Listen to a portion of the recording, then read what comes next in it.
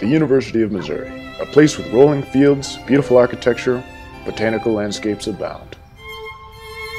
Most students strive to accomplish seven cherished traditions at their own risk. Do you guys know where Speaker Circle is?